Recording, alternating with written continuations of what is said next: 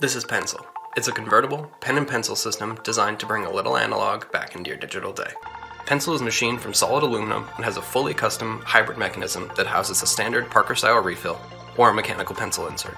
Just unscrew the body, swap out the parts, and give it a click.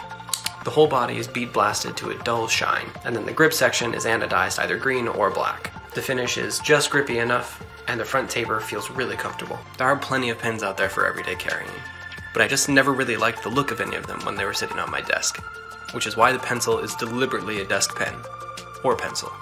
There isn't a clip. Instead, it pairs beautifully with the solid maple desk tray that houses all the components you could need, including spare pen refills and the mechanical pencil mechanism. Pencil is meant to be the writing tool that you reach for when you need a little break from all of those digital distractions, or you just need to get started on something. So if you want to bring a little analog back to your desk, please support the project. Thank you.